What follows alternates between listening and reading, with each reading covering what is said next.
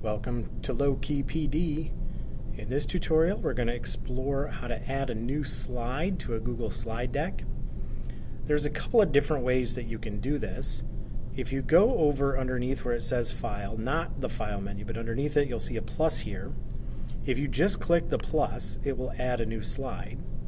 Or if you see this triangle next to that, you can click on that, and then you can add a new slide with a specific layout attached to it so notice that these two have different layouts. The default layout is one thing, the one I selected was another, so there's two different slides here. Or another way you can add slides is if you go to the slide menu and just click on plus new slide, you will also get a new slide. So there's a couple of different ways to do this. A third way, if you go back to the slide menu, notice there is a shortcut, Control M, for adding a new slide. I'm going to use that shortcut now and that also adds a new slide.